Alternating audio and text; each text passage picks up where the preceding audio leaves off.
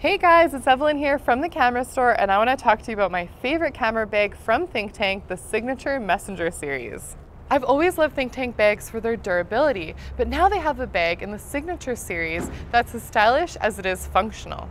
One of the things that's really nice about this bag is the fabric. It feels soft to the touch like a nice wool, but it has a weather resistant blend to it. So whether you're spilling coffee on it or you're out in the rain, it's gonna keep your gear protected. The leather and metal accents make this bag look and feel great. It also has a really nice neoprene padded strap, and so it can stand up to everyday use.